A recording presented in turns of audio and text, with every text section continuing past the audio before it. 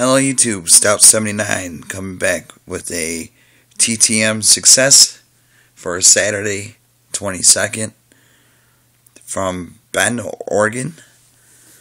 Uh, believe these are my custom photos.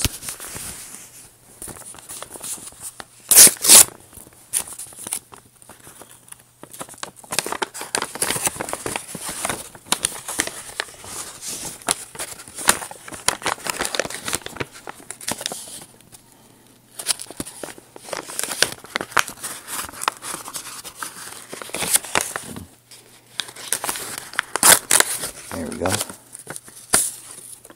Ah, sweet. Dan Fouts. Boots, I think. Sign that one. Sign that one.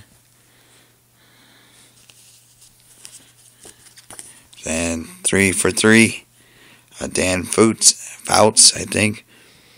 He's a, uh, right now, football broadcaster and he played for San Diego Chargers quarterback. I believe early 80s. Got that one three for three. Got two more videos coming up. See you in a few.